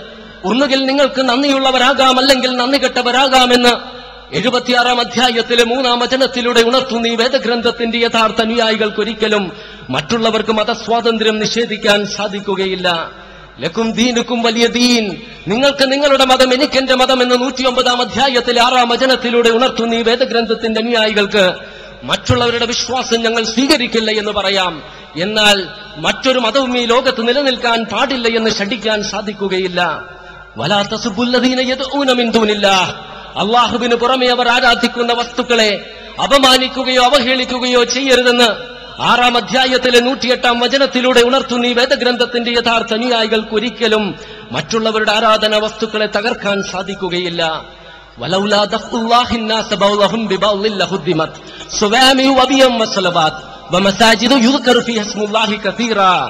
അള്ളാഹു ചിലരെ ചിലരെ കൊണ്ട് തടഞ്ഞില്ലായിരുന്നുവെങ്കിൽ ക്രൈസ്തവ ദേവാലയങ്ങളും സിനോഗുകളും സന്യാസ മഠങ്ങളും അള്ളാഹുവിന്റെ നാമം സ്തുതിക്കപ്പെടുന്ന മസ്ജിദുകളും തകർക്കപ്പെടുമായിരുന്നുവെന്ന് ഇരുപത്തിരണ്ടാം അധ്യായത്തിലെ നാൽപ്പതാം വചനത്തിലൂടെ ഉണർത്തുന്ന ഈ വേദഗ്രന്ഥത്തിന്റെ യഥാർത്ഥ അനുയായികൾക്ക് ഒരിക്കലും മറ്റുള്ളവരുടെ ആരാധന ഇടങ്ങൾ തകർക്കാൻ സാധിക്കുകയില്ല.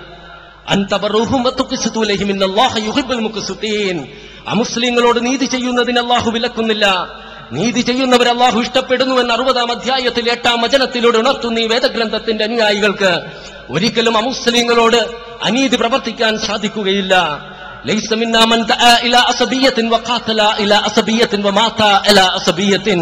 വർഗീയതയിലേക്ക് ക്ഷണിക്കുകയും വർഗീയതയ്ക്ക് വേണ്ടി കൊല്ലുകയും വർഗീയതയ്ക്ക് വേണ്ടി മരിക്കുകയും പെട്ടവൻ ചെയ്യുന്നവൻ നമ്മിൽ പെട്ടവനല്ല എന്ന് പഠിപ്പിച്ച പ്രവാചകന്റെ യഥാർത്ഥ അനുയായികൾക്ക് ഒരിക്കലും വർഗീയവാദികളാകാൻ സാധിക്കുകയില്ല.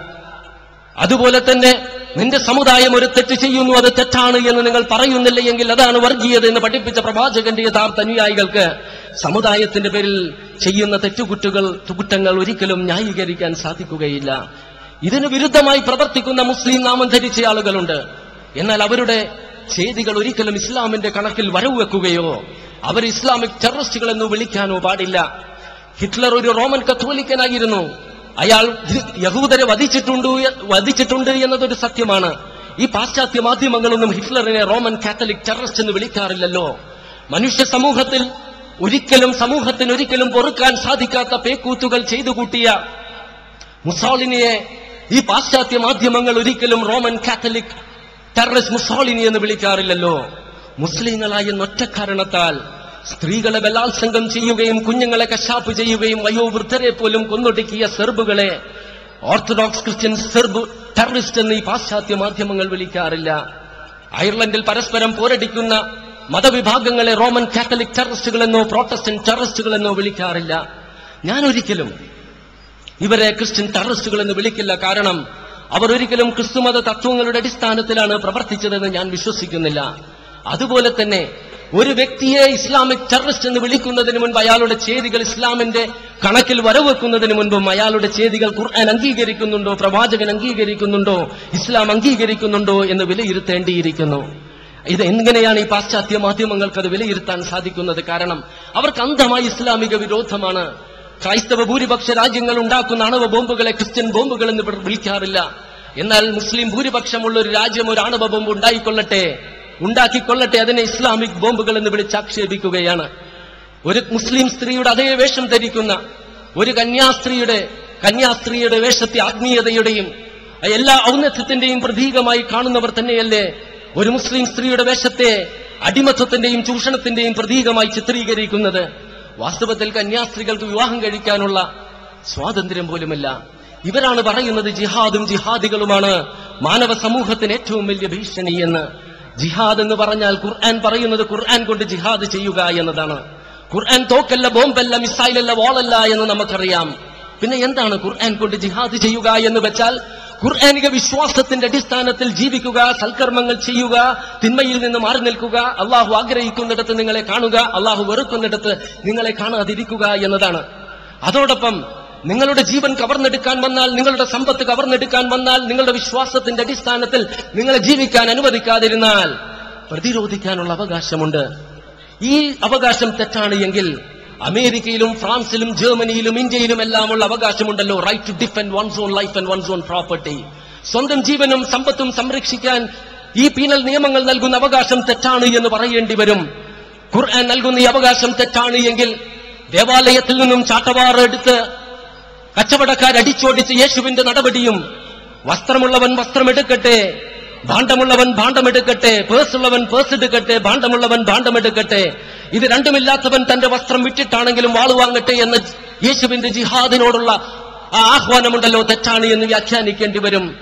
ഖുർആൻ നൽകുന്ന ഈ അവകാശം തെറ്റാണ് എങ്കിൽ സീതയെ രക്ഷിക്കാൻ ശ്രീരാമൻ നടത്തിയ യുദ്ധം തെറ്റാണ് എന്ന് വ്യാഖ്യാനിക്കേണ്ടി വരും. എന്തിനേറെ? പാണ്ഡവർക്ക് രാജ്യം തിരിച്ചു കൊടുക്കാൻ തേരാളിയായിട്ട് ശ്രീകൃഷ്ണൻ യുദ്ധം നയിച്ചില്ലേ? ജീവിതത്തിൽ നാം ക്ഷമിക്കേണ്ട സന്ദർഭങ്ങളുണ്ട്. ക്ഷമിക്കാതിരിക്കേണ്ട സന്ദർഭങ്ങളുണ്ട്. സ്നേഹിക്കേണ്ട സന്ദർഭങ്ങളുണ്ട്. വെറുക്കേണ്ട സന്ദർഭങ്ങളുണ്ട്.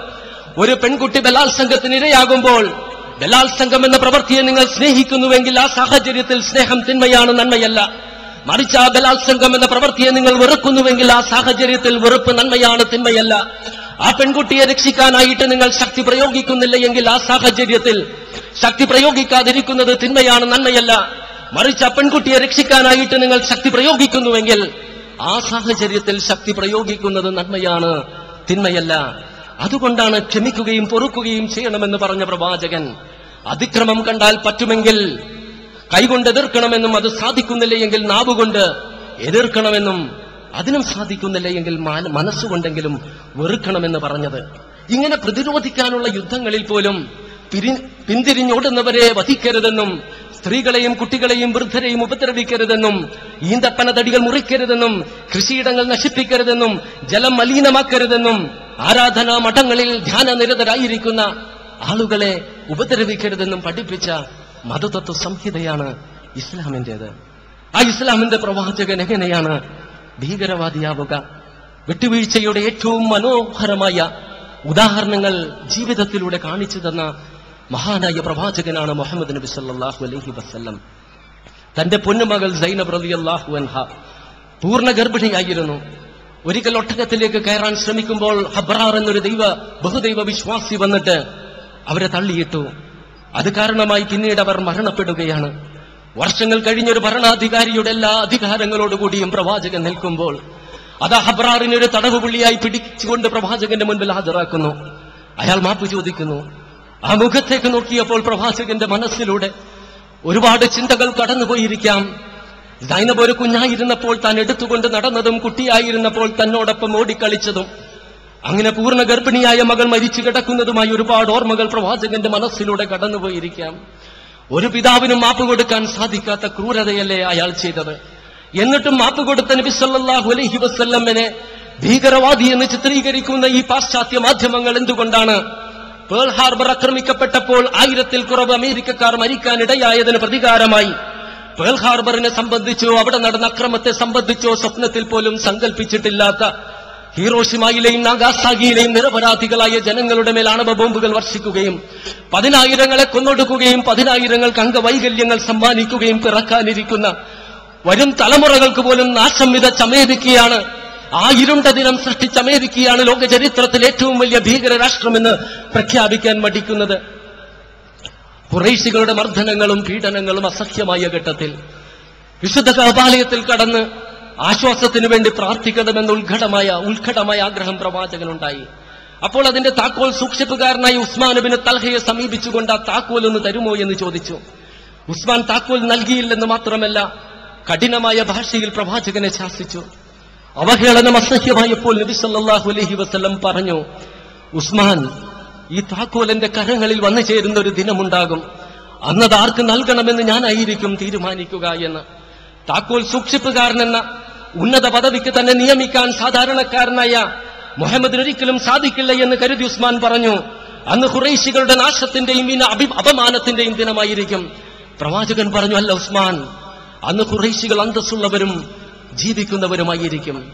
വർഷങ്ങൾ കഴിഞ്ഞ് മക്കാ വേളയ്ക്ക് ശേഷം ഒരു ഭരണാധികാരിയുടെ എല്ലാ അധികാര അവകാശങ്ങളോടുകൂടി വിശുദ്ധ ബാലയത്തിൽ വന്ന് താക്കോൽ സൂക്ഷിപ്പുകാരനോട് താക്കോൽ കൊണ്ടുവരാൻ ആജ്ഞാപിച്ചപ്പോൾ അതാ പഴയ ഉസ്മാൻ വിറക്കുന്ന കൈകളോടെ ഇടിക്കുന്ന ഹൃദയത്തോടെ വിതുമ്പുന്ന ചുണ്ടുകളോടെ വന്ന് പ്രവാചകന് താക്കോൽ നൽകുന്നു.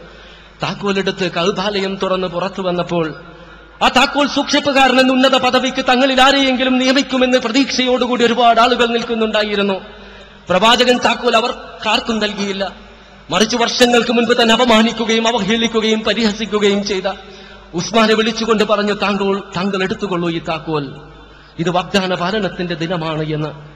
പ്രതികാരം എന്തെന്നറിയാത്ത പ്രവാചകന്റെ നിസ്തുലമായ നീതിബോധത്തിന്റെ പ്രതീകമല്ലേ ഈ സംഭവം? ഈ നബി സല്ലാഹു അലൈഹി വസല്ലമനെ ഭീകരവാദികൾ എന്ന് വിളിച്ചാക്ഷേപിക്കുന്ന പാശ്ചാത്യ മാധ്യമങ്ങൾ എന്തുകൊണ്ടാണ്? തങ്ങളുടെ രണ്ട് അയൽ രാജ്യങ്ങളായ മെക്സിക്കോയിൽ നിന്നും കാനഡയിൽ നിന്നും യാതൊരു അക്രമത്തെയും ഭയക്കേണ്ടതില്ല എങ്കിലും ഭൂഗോളത്തിന്റെ വിദൂരതകളിൽ പോയി കൊറിയയെയും വിയറ്റ്നാമിനെയും കംബോഡിയയെയും ഇറാഖിനെയും ഇറാനെയും സൊമാലിയെയും നിഖറാഗുവയും ചിലിയെയും എല്ലാം ആക്രമിച്ച അമേരിക്കയാണ് ഏറ്റവും വലിയ ഭീകര രാഷ്ട്രമെന്ന് പ്രഖ്യാപിക്കാൻ മടിക്കുന്നത് പ്രവാചകനെ പിടിച്ചുകൊടുത്താൽ നൂറൊട്ടകങ്ങൾ സമ്മാനമായി നൽകാമെന്ന ഖുറൈശികളുടെ വാഗ്ദാനത്തിൽ ആകൃഷ്ടനായി സുറാഖി എന്ന വ്യക്തി പ്രവാചകന്റെ അടുത്തേക്ക് വരുന്നു. എന്നാൽ അടുത്തെത്തുന്നതിന് മുൻപ് കുതിരയുടെ നിയന്ത്രണം തെറ്റുകയും സുറാഖ് നിലത്ത് മലർന്നടിച്ച് വീഴുകയാണ്. നിസ്സഹായനായി കിടക്കുന്ന അയാളുടെ മുഖത്തേക്ക് യാതൊരു പ്രതികാര ഭാവവുമില്ലാതെ പ്രവാചകൻ നോക്കിയിട്ട് പറഞ്ഞു സുറാക്ക പേർഷ്യൻ ചക്രവർത്തിയുടെ കൈകളിൽ അണിയുന്ന വളകൾ താങ്കൾക്ക് ലഭിക്കുമ്പോൾ എങ്ങനെയിരിക്കും സ്വന്തം നാട്ടിൽ നിന്നും പുറത്ത് പുകച്ചു പുറത്താക്കിയ ശിരസിന്റെ മുകളിൽ ആകാശ നീലിമയുടെ മേലാപ്പല്ലാതെ മറ്റൊന്നുമില്ലാത്ത വെറുമൊരു അഭയാർത്ഥിയായ മനുഷ്യൻ. അന്നത്തെ ലോകമഹാശക്തിയായ ഒരു സാമ്രാജ്യത്തിലെ ചെങ്കോലേന്ത്യ സ്വച്ഛാധിപതിയായ ചക്രവർത്തിയുടെ കൈകളിൽ അണിയുന്ന വളകൾ തനിക്ക് സമ്മാനമായി നൽകാമെന്ന് പറഞ്ഞതൊരു തമാശയായേ കരുതിയുള്ളൂ. എന്നാൽ നബിസല്ലാഹു അലഹി വസ്ല്ലം ഈ ലോകത്ത് നിന്നും വിട പറഞ്ഞ് രണ്ടു വർഷം കഴിയുന്നതിന് മുൻപ് ജനങ്ങളെ അടിച്ചമർത്തിയിരുന്ന പേർഷ്യൻ സാമ്രാജ്യം മുസ്ലിങ്ങളുടെ കൈകളാൽ പരാജയപ്പെടുകയും ഒരു സാധാരണ ഭടൻ ആ ചക്രവർത്തിയുടെ വളകൾ ഒരു മുഷിഞ്ഞ തുണിയിൽ പൊതിഞ്ഞുകൊണ്ട് മഹാന ഇസ്ലാമിക ഭരണാധികാരി ഉമർ ബിൻ ഹത്താബ് റളിയല്ലാഹു അൻഹുവിന്റെ മുൻപിൽ കൊണ്ടുവന്നു വെച്ചു പ്രവാചകന്റെ വാഗ്ദാനം അറിയാമായിരുന്ന ആ മഹാനായ ഭരണാധികാരി സുറാഖക്ക് അത് സമ്മാനമായി നൽകുകയാണ്. തന്നെ പിടിച്ചു കൊടുത്താലുള്ള പ്രതിഫലമോർത്ത് അത്യാർത്ഥിയോടെ വന്ന മനുഷ്യൻ നിസ്സഹായനായി കിടക്കുമ്പോൾ ഇതുപോലൊരു വാഗ്ദാനം നൽകിയ പ്രവാചകനെയാണ് പ്രതികാരദാഹി എന്ന് വിളിക്കുന്ന ഈ പാശ്ചാത്യ മാധ്യമങ്ങൾ. ഈ മാധ്യമങ്ങൾ എന്തുകൊണ്ടാണ് സെപ്റ്റംബർ പതിനൊന്നിൽ അക്രമത്തിന് ശേഷം ഒരു തെറ്റും ചെയ്യാത്ത അഫ്ഗാനിസ്ഥാനിലെയും ഇറാഖിലെയും സാധാരണക്കാരായ ജനങ്ങളെ കൊന്നൊടുക്കിയ സ്കൂളുകളിൽ പോലും ബോംബുകൾ വർഷിച്ച വിവാഹ സദസ്സുകളിൽ പോലും ബോംബുകളിട്ട് നിരപരാധികളെ കൊന്നൊടുക്കിയ ബുഷും ബ്ലെയറുമാണ് ഏറ്റവും വലിയ ഭീകരവാദികളെന്ന സത്യം വെട്ടിത്തുറന്ന് പറയാൻ മടിക്കുന്നത്. ഉഹദിന്റെ രണാങ്കണ ഭൂമിയിൽ നബിസല്ലാഹു അലൈഹി വസ്ല്ലമിന്റെ പിതൃവ്യൻ ഹംസാർ അലി അള്ളാഹുവിനെ ക്രൂരമായി വധിക്കുകയും ശരീരം തുണ്ടം തുണ്ടമായി പിച്ച് ചീന്തിക്കൊണ്ട് അതിൽ നിന്നും കരൾ പറിച്ചെടുത്ത് കടിച്ചു തുപ്പി എന്നിട്ടും മരിശം തീരാതെ കാതും മൂക്കും നാവുമെല്ലാം മുറിച്ച് മലയാക്കി ശിരസിലിട്ട് ആനന്ദ നൃത്തമാടിയ വഹിഷയ്ക്ക് ആഭരണങ്ങൾ മുഴുവനും അഴിച്ചു കൊടുത്ത ഹിന്ദെന്ന സ്ത്രീക്ക് മക്ക വിജയവേളയ്ക്ക് ശേഷം മാപ്പ് ലഭിക്കില്ല എന്ന് കരുതി മുഖം മൂടി ധരിച്ചുകൊണ്ട് നബി സല്ലല്ലാഹു അലൈഹി വസ്ല്ലമിന്റെ അടുത്ത് വന്ന് മാപ്പ് ചോദിച്ചപ്പോൾ നീ ഹിന്ദല്ലേ എന്ന് സ്വരം തിരിച്ചറിഞ്ഞു ചോദിച്ച പ്രവാചകൻ പൊട്ടിക്കരഞ്ഞുകൊണ്ട് ഹിന്ദു ചോദിച്ചില്ലേ അള്ളാഹുവിന്റെ ദൂതരെ അങ്ങനെക്ക് പുറത്തു തന്നാലും നബിസല്ലാഹു അലൈഹി വസല്ലം പറഞ്ഞു അള്ളാഹു നിനക്ക് മാപ്പ് നൽകട്ടെ എന്ന്. ഈ പ്രവാചകൻ എങ്ങനെയാണ് ഭീകരവാദിയാകുന്നത്? ഈ നബി സല്ലല്ലാഹു അലൈഹി വസ്ല്ലമിനെ തീവ്രവാദി എന്ന് വിളിക്കുന്നതേ പാശ്ചാത്യ മാധ്യമങ്ങൾ എന്തുകൊണ്ടാണ്? അഫ്ഗാനിസ്ഥാനിൽ നിന്നും പിടിച്ച തടവുകാരെ ക്യൂബയിലെ ഗൗട്ടനാമ ബേയിലെ ക്യാമ്പ് എക്സ്റയിൽ കാഴ്ച ബംഗ്ലാവിൽ മൃഗങ്ങളെ ഇട്ട് പീഡിപ്പിക്കുന്നതിനേക്കാൾ ക്രൂരമായി പീഡിപ്പിക്കുന്നതെന്നും ഐക്യരാഷ്ട്രസഭ പോലും അത് നിർത്തണമെന്ന് പറഞ്ഞിട്ടും അനുസരിക്കാത്ത ബുഷാണ് ലോക ചരിത്രത്തിൽ ഏറ്റവും ക്രൂരനായ മനുഷ്യനെന്ന് പ്രഖ്യാപിക്കാൻ മടിക്കുന്നത് മക്ക വിജയവേളയിൽ തന്നെ ക്രൂരതക്ക് വിധേയനാക്കിയ തന്നെയും അനുയായികളെയും ഒരുപാട് പീഡിപ്പിച്ച ആളുകൾ മരണവും കാത്തു നിൽക്കുമ്പോഴല്ലേ യാതൊരു പ്രതികാരവുമില്ലാതെ പ്രവാചകൻ പറഞ്ഞത് ഇത് ഹബു അൻതും അല്ല അല്ലഹു ഇന്തൽ മഖ്ദിറ. നിങ്ങൾക്ക് പോകാം. മാപ്പെന്ന പദത്തിന് അർത്ഥം ലഭിക്കുന്നത് അത് കൊടുക്കാൻ കഴിവുള്ളപ്പോൾ കൊടുക്കുമ്പോഴാണെന്ന്. തന്നെ വധിക്കുമെന്ന് ശബ്ദം ചെയ്തൊരു പട്ടണവും ജനതയും തന്റെ കാൽ കീഴിൽ അമർന്ന നിമിഷത്തിൽ തന്റെ ആജ്ഞക്ക് വിധേയമായ സന്ദർഭത്തിൽ താൻ അനുഭവിച്ച എല്ലാ വേദനകളും അടിച്ചേൽപ്പിച്ച എല്ലാ മുറിവുകൾക്കും മാപ്പ് നൽകിയ പ്രവാചകൻ എങ്ങനെയാണ് പ്രതികാരദാഹിയാകുന്നത്?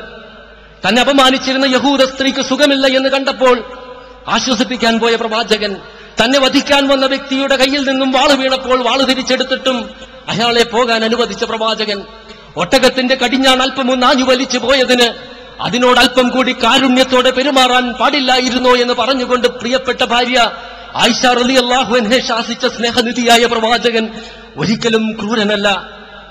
സ്വതന്ത്രമായി വിഹരിച്ച് നടന്നൊരു പൂച്ചയെ കെട്ടിയിട്ടത് മൂലം അതിന് ആഹാരം ലഭിക്കാതെ മൃതിയടയാൻ കാരണക്കാരിയായ സ്ത്രീ അക്കാരണം കൊണ്ട് തന്നെ നരകാർഹയാണെന്ന് പഠിപ്പിച്ച പ്രവാചകൻ ഒരിക്കലും ക്രൂരനായിരുന്നില്ല. ദാഹാർത്തിയോടെ മരുഭൂമിയിൽ അലഞ്ഞു നടന്നൊരു നായ അതിന്റെ നാവ് പുറത്തിട്ട് ദാഹം ക്ഷമിപ്പിക്കാനായി മണ്ണ് നക്കി തിന്നുന്നത് കണ്ട് മനസ്സലിഞ്ഞൊരു വ്യഭിചാരിണി തന്റെ പാദരക്ഷയൂരി ആഴക്കിണറിലിറങ്ങി ജലം കോരിക്കൊടുത്തതിന്റെ ദാഹശമനം നടത്തിയതിന്റെ പേരിൽ ഉന്നതമായ സ്വർഗത്തോപ്പിലാണെന്ന് പഠിപ്പിച്ച മൃദുല മനസ്കനായ പ്രവാചകൻ എങ്ങനെയാണ് തീവ്രവാദിയാകാൻ കഴിയുന്നത്? പറക്കമുട്ടാത്ത പക്ഷിക്കുഞ്ഞുങ്ങളെ കൂട്ടിൽ നിന്ന് എടുത്തുകൊണ്ടുവന്ന തന്റെ അനുയായിയോട് കൂട്ടിലിരുന്ന് കരയുന്ന തള്ളപ്പക്ഷിയുടെ സുരക്ഷിതത്വത്തിലേക്ക് അതിനെ തിരിച്ചേൽപ്പിക്കാൻ പറഞ്ഞ പ്രവാചകൻ എങ്ങനെയാണ് കഠിന ഹൃദയമുള്ള വ്യക്തിയാകാൻ സാധിക്കുന്നത്? പെൺകുഞ്ഞിന്റെ ജനനം ഒരു ശാപമാണെന്ന് കരുതിക്കൊണ്ട് പൊന്നുമകളെ കുടിച്ചു മൂടാൻ ശ്രമിക്കുമ്പോൾ പിതാവിന്റെ താടിയിൽ പറ്റിപ്പിടിച്ചിരുന്ന മണ്ണ് തുടച്ചു മാറ്റിയിട്ടും മനസ്സലിയാതെ ക്രൂരമായി തന്റെ മകളെ കുടിച്ചിട്ട സംഭവം പ്രവാചകനോട് പറഞ്ഞപ്പോൾ പൊട്ടി പൊട്ടിക്കറിഞ്ഞ പ്രവാചകൻ എങ്ങനെയാണ് ക്രൂരനാകുന്നത്? ലോകചരിത്രത്തിലെ ഏറ്റവും മഹാനായ വ്യക്തിയാണ് അറേബ്യയിലെ കിരീടം വെക്കാത്ത ചക്രവർത്തി എന്ന നിലയിൽ ജനങ്ങളുടെ ചോദ്യം ചെയ്യപ്പെടാത്ത ആധ്യാത്മിക നേതാവ് എന്ന നിലയിൽ അന്നത്തെ പ്രബലമായ സൈന്യത്തിലെ സർവസൈന്യാധിപൻ എന്ന നിലയിൽ നിൽക്കുമ്പോഴല്ലേ പ്രവാചകൻ നിറകണ്ണുകളോട് ജനങ്ങളോട് പറഞ്ഞത്? ഞാൻ ആരെയെങ്കിലും ഉപദ്രവിച്ചിട്ടുണ്ട് എങ്കിൽ എന്റെ മുതുകിത് ഇതാ. നിങ്ങൾക്ക് എന്നെ ഉപദ്രവിക്കാം. ഞാൻ ആരെയെങ്കിലും അപമാനിച്ചിട്ടുണ്ട് എങ്കിൽ നിങ്ങൾക്ക് എന്നെ അപമാനിക്കാം. ഞാൻ ആർക്കെങ്കിലും പണം നൽകാനുണ്ടെങ്കിൽ നിങ്ങൾ ചോദിച്ചുകൊള്ളൂ ഞാൻ നൽകാമെന്ന്. ആ ലോക ഇതുപോലെയൊരു വ്യക്തിയെ നിങ്ങൾക്ക് കണ്ടെത്താൻ സാധിക്കുകയില്ല. നബി സല്ലല്ലാഹു അലൈഹി വസല്ലമനെ സംബന്ധിച്ച് അധികം കേട്ടിട്ടില്ലാത്ത പഠിച്ചിട്ടില്ലാത്ത മൈക്കിൾ എച്ച് ഹാർട്ട് എന്നൊരു വ്യക്തി പ്രവാചകനെ സംബന്ധിച്ച് പഠിക്കാനിടയായി. അദ്ദേഹം പഠിക്കാൻ ഒരു സാഹചര്യം ഉണ്ടായിരുന്നു മാനവ സമൂഹത്തെ ഏറ്റവും അധികം സ്വാധീനിച്ച വ്യക്തിത്വങ്ങളെ തെരഞ്ഞെടുക്കാൻ അദ്ദേഹം പഠിച്ചതാണ്. എന്നിട്ട് ദ ഹൺഡ്രഡ് എന്ന അദ്ദേഹത്തിന്റെ ഗ്രന്ഥത്തിൽ ഏറ്റവും അധികം മനുഷ്യ സമൂഹത്തെ സ്വാധീനിച്ച വ്യക്തിയായി അദ്ദേഹം തെരഞ്ഞെടുത്തത് നബിസല്ലാഹു അലൈഹി വസല്ലമിനെയാണ്.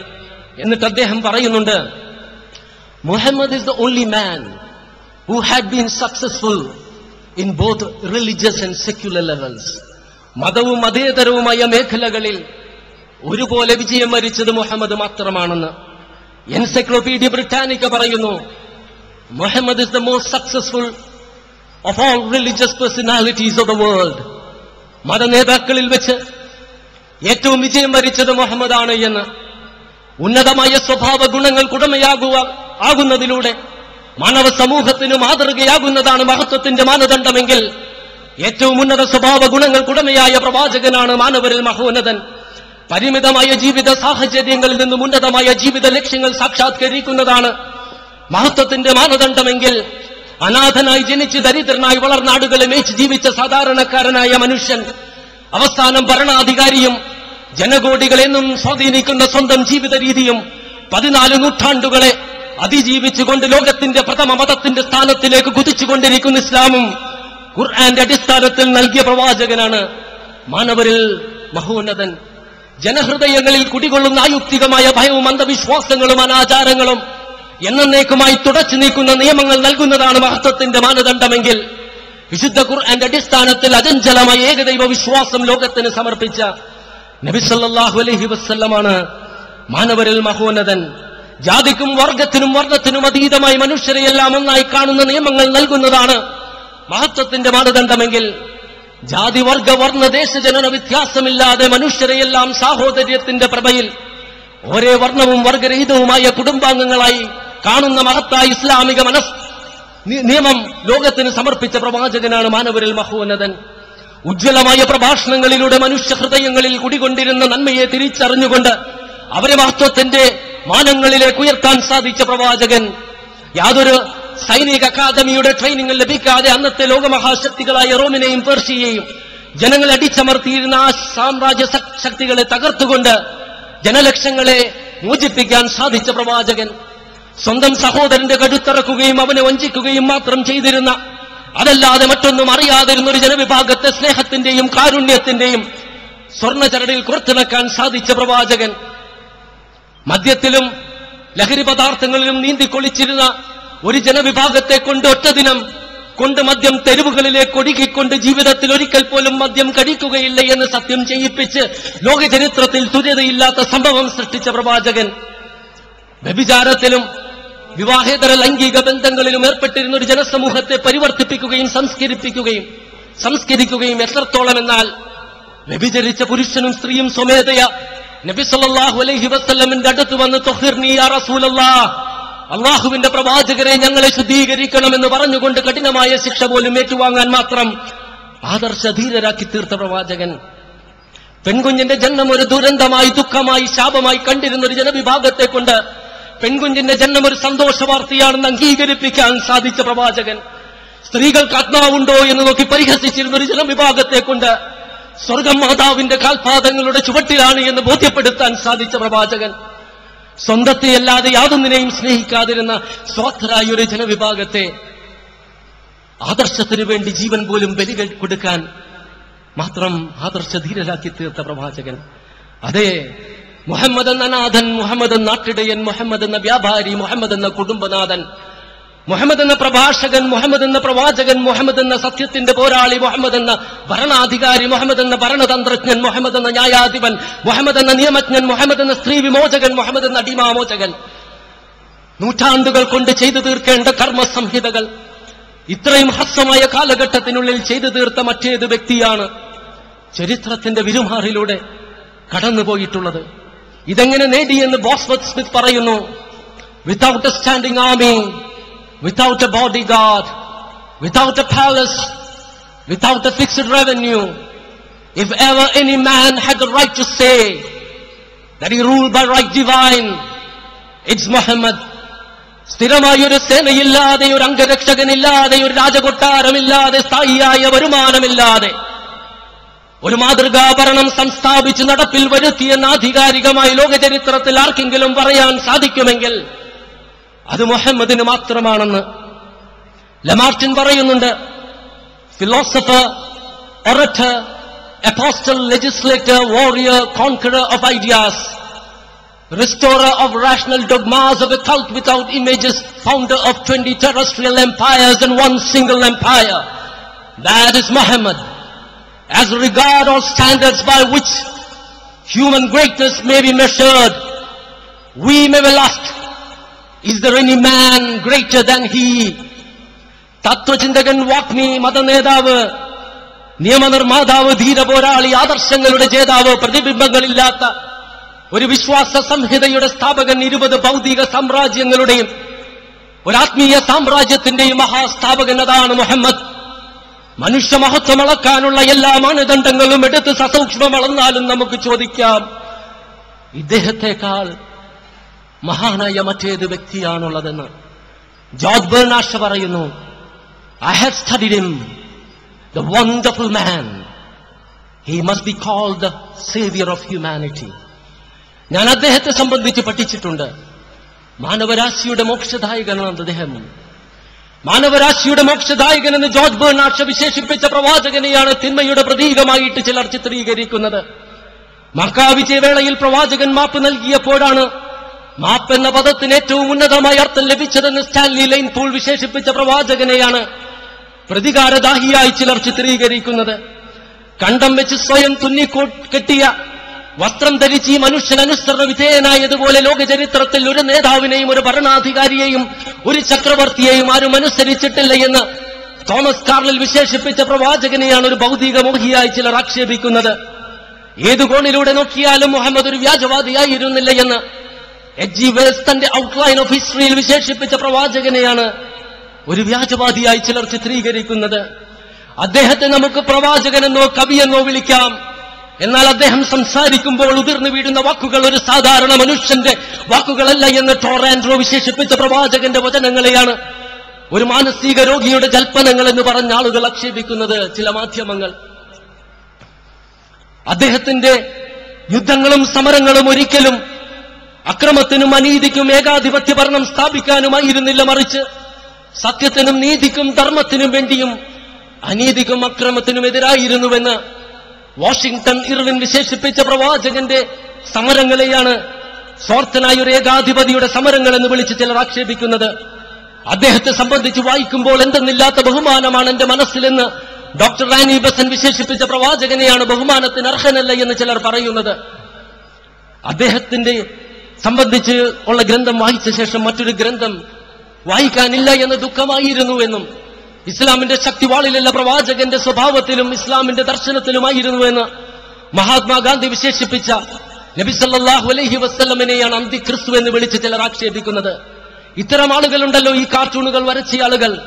അവരെ സംബന്ധിച്ചാണ് ആയിരത്തി തൊള്ളായിരത്തി ഇരുപത്തിയെട്ടിൽ ഭാരതത്തിലെ ഗുറാഖ്പൂരിൽ എഴുത്തുകാരുടെ സമ്മേളനത്തെ അഭിമുഖീകരിച്ചുകൊണ്ട് ജ്ഞാനേന്ദ്രദേവ് ശർമ്മ പറഞ്ഞത് മുഹമ്മദിന്റെ ശത്രുക്കൾ പ്രകാശത്തെത്തിയും നല്ലതിനെ ചീത്തയും എല്ലാ നന്മകളെയും തിന്മകളുമായി വളച്ചോടിക്കുന്നത് അവരുടെ ധാർമ്മികമായ അധപ്പതനം മാത്രമാണ് കാണിക്കുന്നതെന്ന് ഇത്തരം ആളുകളെ സംബന്ധിച്ചാണ് ആയിരത്തി എണ്ണൂറ്റി നാൽപ്പത് മെയ് മാസം എട്ടാം തീയതി ലണ്ടനിലെ ബുദ്ധിജീവികൾ അഭിമുഖീകരിച്ചുകൊണ്ട് തോമസ് കാർലിൽ പറഞ്ഞത് പാശ്ചാത്യർ മുഹമ്മദിനെതിരെ തൊടുത്തുവിടുന്ന അടിസ്ഥാനരഹിതങ്ങളായ ആരോപണങ്ങളുണ്ടല്ലോ. അത് അവരുടെ കഴിവുകേട് മാത്രമാണ് കാണിക്കുന്നതെന്ന് പ്രവാചകനെ സംബന്ധിച്ച് വസ്തുനിഷ്ഠമായി പഠിക്കുന്ന എല്ലാവരും ചോദിച്ചു പോകുന്നൊരു ചോദ്യമുണ്ട്. ലമാർട്ടിൻ ലോകത്തോട് ചോദിച്ച ചോദ്യം is there any man greater than he ഇദ്ദേഹത്തെക്കാൾ മഹാനായ മറ്റേത് വ്യക്തിയാണുള്ളതെന്ന് ഞാൻ അവസാനിപ്പിക്കുകയാണ്. ഉഹദിന്റെ രണാങ്കണ ഭൂമിയിൽ കുറേശികൾ ശരവർഷം ആരംഭിച്ചപ്പോൾ പ്രവാചകന്റെ മുൻപിൽ അനുയായികൾ ഒരു രക്ഷാ കവചം പോലെ നിലകൊണ്ടു. അവരിൽ പലരും മരിച്ചു വീണ പ്രവാചകനെന്തും സംഭവിക്കാവുന്ന നിർണായകമായ ഒരു നിമിഷം ആ ഘട്ടത്തിൽ